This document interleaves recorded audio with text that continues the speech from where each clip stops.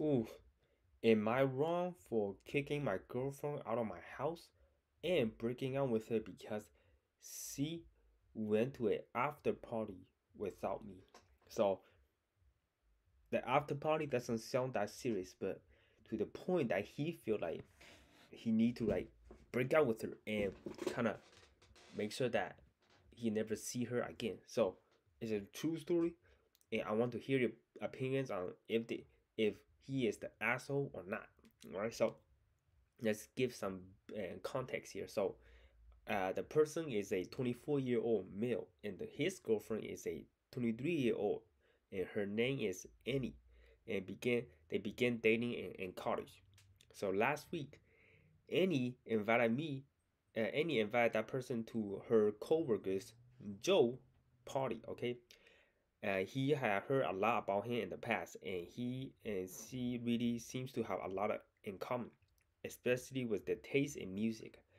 Apparently, Joe was an amateur musician with fairly successful YouTube uh, channel.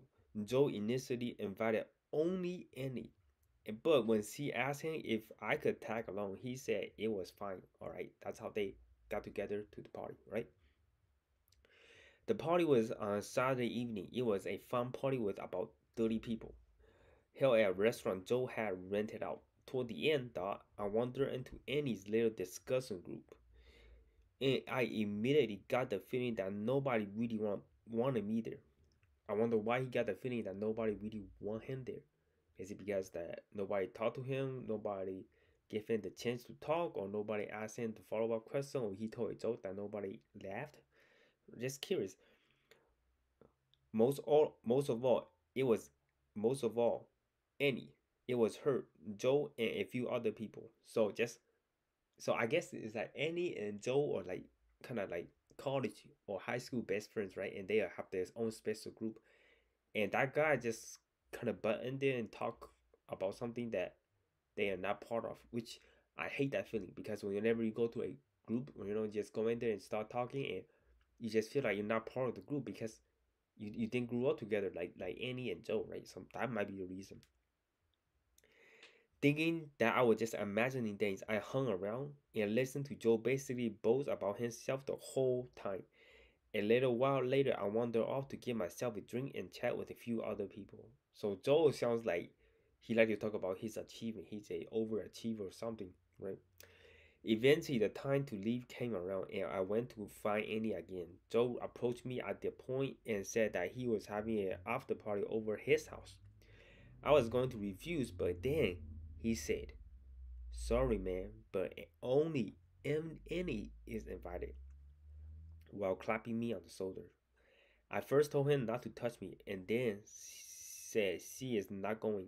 He informed me that she already accepted the invitation yeah, I could feel his heart, right? Just kind of shattered, right? So imagine if someone come up to you and said that, hey, I'm taking your girlfriend to the after party and you're not invited.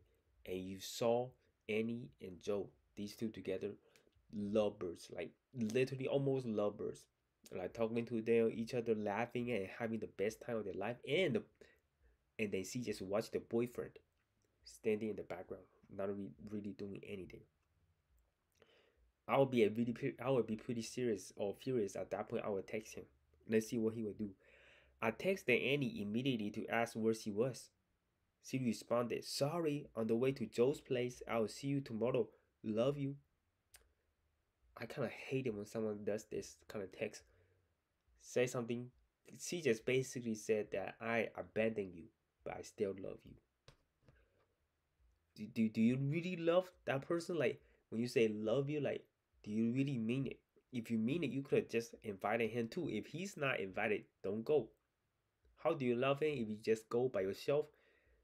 Well, he stay in the room, like he, he stays in the car waiting for you, right? I asked if she knew I wasn't invited, and she then she then left me unread Texts after that were all ignored. So she just completely ignored him. I would be very, very mad too if my girlfriend kind of ignored me like that and went to an after party without me and didn't even communicate that well. I bet he was just very uncomfortable with Joe and Annie kind of together, uh, with that close, with that good kind of chemistry, you know. So anything might have happened. I drove home furious. I stayed out all night, and finally Annie walked in the door at 5:42 a.m. Holy crap! 5:42 a.m. They must did a lot of stuff, a lot of drinking. Sex might be involved. You know, you never know. Who knows? I know. I, I know because I was by the window watching. I recognized the car as Joe's and the driver as Joe.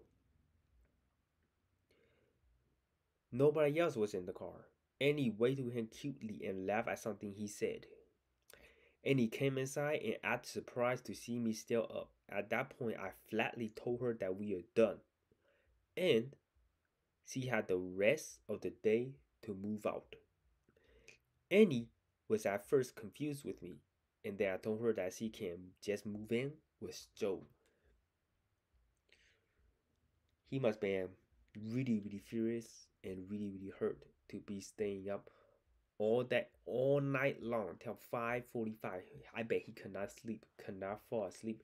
When he closed his eye he probably just dreamed of annie and they having sex or something or they they having some good chemistry talking drinking beer drinking wine and she completely ignored the boyfriend. Annie finally moved out yesterday and it was pretty dramatic. She said that she loved me that i was throwing away everything over a party. Did I go her? Did I do her wrong here? I feel like I'm getting gaslighted. No, man, you did not do anything wrong. You did everything completely right because Annie completely ignored. Like, even if you're not in like a boyfriend or girlfriend relationship, it just even even if just friends, you could treat him better instead of just completely ignore all the text because you're in the zone trying to talk to people, right? I think that kind of reminded me of me reminded me of one of my story where I was dating a girl, right? I was trying to really hard try to date her, try to talk to her in the past, and she is kind of shy. And I talked to her for like two or three months, right? Just texting and slowly started talking on the phone like once a week because she is so shy. So I put in so much effort trying to like talk to her and try to lead the conversation. And one day I call her, you know, and try to like work on our, conversations. You know what she did? She was at a party and she handed the phone over to her girlfriends and let her talk to me. And it, it felt like I was a joke or something. Like I didn't feel appreciated at all. So at that moment, I just kind of completely stopped talking to her. I was very furious too. Kind of like I, I can feel like what the guy is going through right now, which is being ignored and being very disrespectful, right? Everyone have feelings, you know. And I will never treat a person or a friend like that, like where you just completely ignore that person, ignore all the text, ignore the uh, uh make sure that he didn't even see they even like ask if he was okay. Right, so yeah, I think that is an easy one for me. Um, he is definitely not the asshole, and I feel like he made the right choice to uh, break out with her. Alright, that is the end of the video. If you guys enjoyed it, don't forget to give this video a big thumbs up. My name is Kelvin, and I see you guys next